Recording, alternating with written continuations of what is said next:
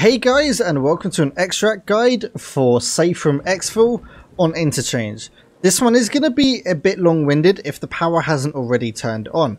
So for this extract you do actually need to have the 11SR keycard. I do have a key guide for this keycard up in the iCard at the top right hand corner or in the link in the description. So to start off we're going to actually turn the power on which is the whole reason why we're at the power plant right here. So to turn the power on, you need to run inside here. There's a panel on your left hand side. You flick that. When the light is green, it means the power is on and also you can hear the machines hum. Just bear in mind if the power hasn't been turned on within 10 to 15 minutes, there might be campers, so just be careful. Campers can get in decent spots at this location. Apparently I can't jump, but they can actually get up onto that spot right there, so just be careful.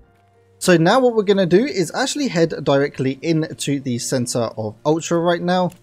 You can, I will just fast forward the video right here just to make it easier for you. But what we're going to do is head into the center of Ultra where Mantis, um, KIBA, Brutal and German is.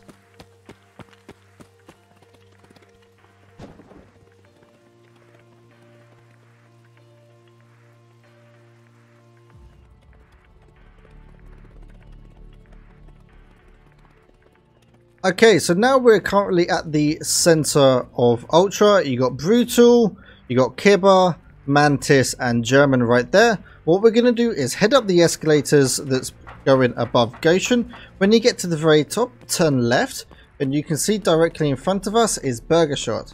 When you're entering the location, follow it around on the right hand side and head into the toilets right here. When you get into the toilets, you need to enter the men's side, which is on the right side. Press F on the the urinal, then go up to the keycard point and use the 11 SR key.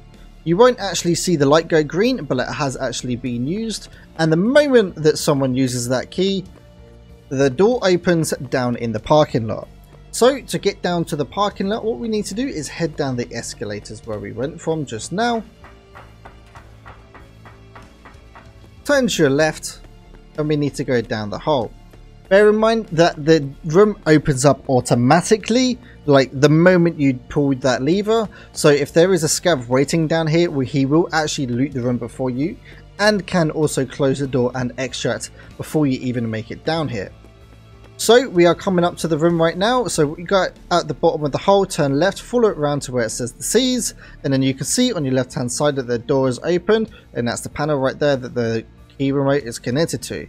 Once entering the room to extract, all you need to do is press F right here and it does extract you within 2 seconds.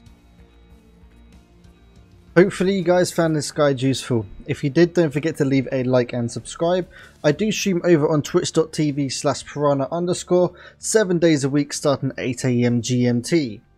Also, we now have a website that has all of the information on my YouTube channel in one location, which will be in the link in the description, where you can navigate it very easily and find what you're looking for. Guys, hopefully you found this guide useful. If you did, don't forget to leave a like and subscribe, and I'll see you in the next video.